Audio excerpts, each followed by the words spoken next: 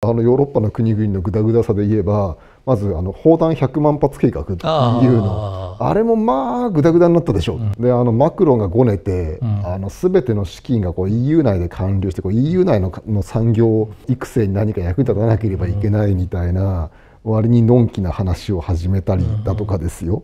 あとあのドイツとポーランドのあのレオ2の面倒を見る戦車修理工場も、ね、なんか費用面で折り合いがつかなくて、ようやくこの前決定したんでしたかね、みたいななんかもうまあ一個一個の事情分かんないでもないんだけどここでねウクライナやられちゃったらあんたらどうすんだよっていう感じが僕はしますけどね。随分のんきだなその中でほらドイツのラインメタルだけねちゃんと工場も作るって言ってるわけそうなんですよ、うん、自分のミサイルで守る守るんだと、まあ、あんだけ渋ってたショルツがやるってなったら、うん、目の色変わっちゃうところがドイツ人怖いなって思いますよね、ね、